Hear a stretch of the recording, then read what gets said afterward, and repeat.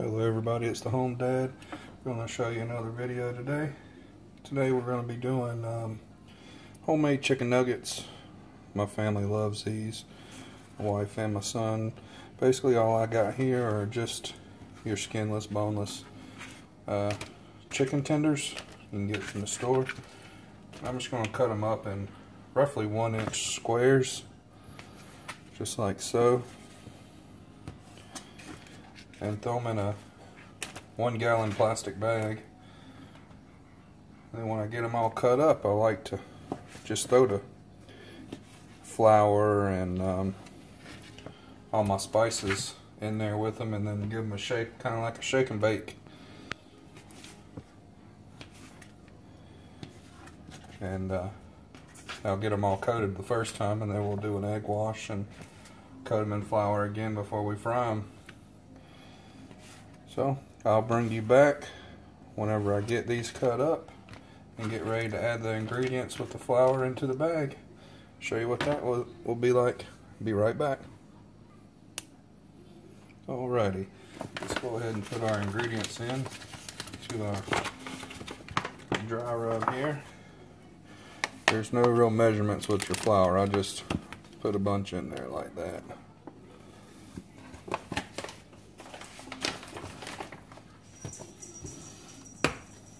Want roughly a tablespoon of each.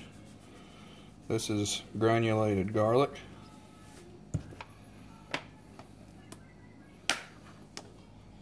Black pepper.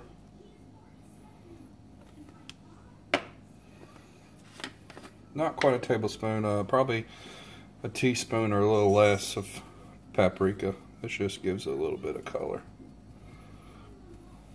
Just like so. We're going to do some onion powder. There we go. And this is up to everybody's taste. This is cayenne pepper. Um, I'm just going to put a tad bit just to give it a little bit of kick. Just that much. Probably a quarter teaspoon or less. If you want it spicier, add more. And I'm going to do a tablespoon of seasoning salt.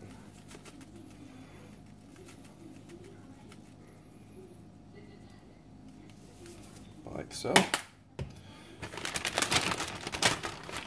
You just close our bag up, a little bit of air out. Just mix it up like so. So get all the pieces coated.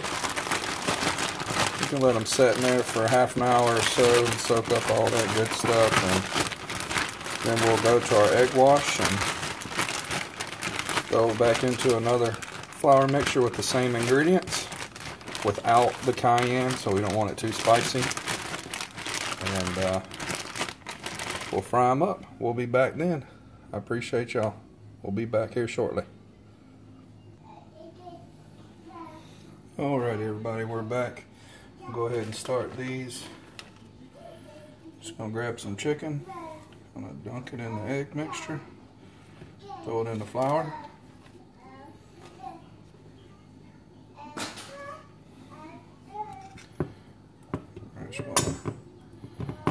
These up again.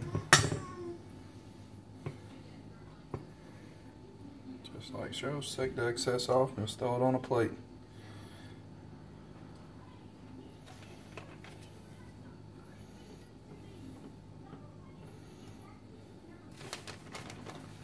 Got my wife's little glove on from her work and I got big old hands and she's got tiny little hands so it looks goofy.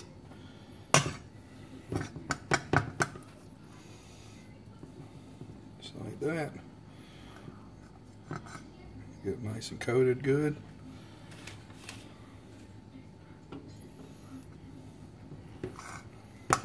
Press it down in there. Shake off the excess and throw it on the plate. Alright, we'll keep at this and uh, I'll bring you back when we're getting ready to fry these things. Alright everybody, we're back. Gonna be doing some frying now. Give me a couple forks here.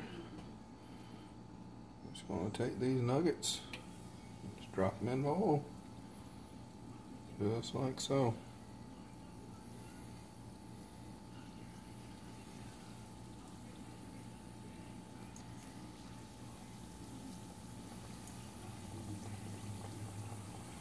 And I'll let them go until they're golden brown, then I'll check them with an instant read thermometer make sure they're 165 in the middle. That's how I like to, to do mine. Just make sure when you're doing this, you don't overfill your pan or your pot. However you do it, I like doing mine in a wok. Makes it a little easy on me. Do it in several batches. And I'll bring you back once uh, we get some fried up and see what they look like. Hey everybody, we're back. We're on our last batch here of chicken. Just want to give you a little tip.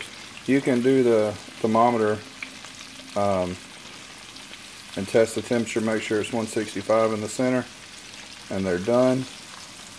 Uh, you can also tell if they're done when they start floating to the top. When they start floating, they're also done. And I also another tip when you're doing this, make sure you keep a good turn on them so they don't get burnt on one side if they touch the bottom of the pan. But here's what we got so far. Nice fried chicken nuggets, southern style. Hope you guys enjoyed.